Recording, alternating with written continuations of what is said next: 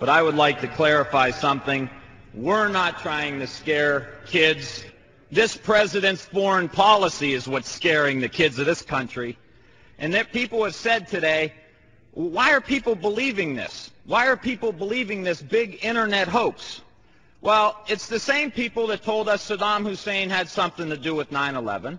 Same people that told us Saddam Hussein had weapons of mass destruction. Same people that told us we were going to be able to use the oil for reconstruction money. Same people that told us that we'd be greeted as liberators, not occupiers. Same people, same president that told us the Taliban is gone. Same president that told us that Poland is our ally two days before they pull out. Same president that tells us Iraq is going just great. Same president that tells us the economy is going just great. Same people that told us the tax cut was going to create millions of jobs. Same people that told us that the Medicare program only cost $400 billion when it really cost $540 billion. So please forgive us for not believing what you're saying. Please forgive the students of this country for not believing what you're saying.